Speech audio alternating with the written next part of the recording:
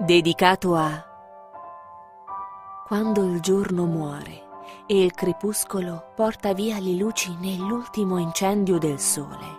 L'eco della tua voce disseta il mio spirito stanco, mentre trascino il cuore fra le spine di un rovo sfiorito, giovane angelo dalle ali ferite vorrei sottrarre alla volta celeste stelle appena nate per cospargere i tuoi biondi capelli e rischiare il cammino fra la foschia del dolore. Non ho più niente da offrirti se non questi versi e il mio amore.